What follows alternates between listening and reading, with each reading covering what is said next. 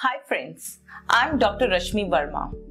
I want to introduce the fourth edition of the textbook of Laparoscopy for Surgeons and Gynecologists by Dr. R.K. Mishra. This is a unique textbook of laparoscopic surgery that deals with all the essential aspects for surgeons, gynecologists, and urologists. All the 50 chapters in this edition have been updated and many have been rewritten to give readers the most up-to-date information. The book tackles the challenging topic of translating what is taught in the operating room into text and images. Additionally, the book addresses numerous methods to overcome challenges encountered during the laparoscopic procedure.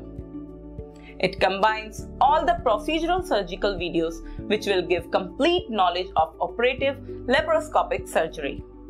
This is a unique self-sufficient book that explains the concept of ergonomics, task analysis, practical and practical problems encountered in laparoscopic operative surgery.